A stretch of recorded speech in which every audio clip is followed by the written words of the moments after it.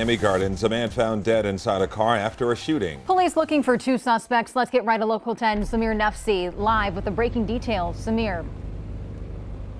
Eden Calvin, good evening. Yeah, that unfolding here in this shopping plaza in Miami Gardens. The scene has since cleared, but we can tell you one person is dead after being shot multiple times. We had a chance to speak to one witness who says that victim was ambushed. Let's go ahead and get you up to some Sky 10 footage we captured earlier.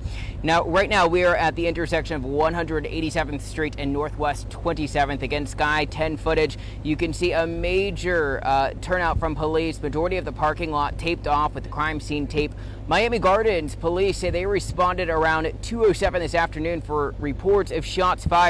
Now, according to a spokesperson with the department, the victim is a younger man that uh, this appears to be a targeted incident. Now, back on ground, you can see the victim was in this black BMW, which was on the curb. I'm told the victim was attempting to leave the parking lot when two suspects approached his vehicle and then opened fired, fire rather.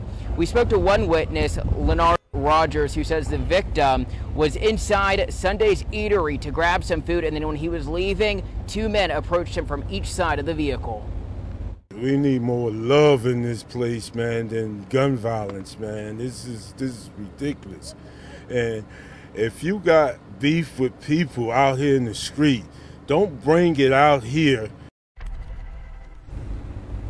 back out here live. So here's what we know about the suspects. Two suspects, as I mentioned, they're said to have fled in a white sedan. Anyone with any information is urged to contact uh, investigators regarding this shooting. That's the latest from Miami Gardens. I'm Samir Nafsi, Local 10 News.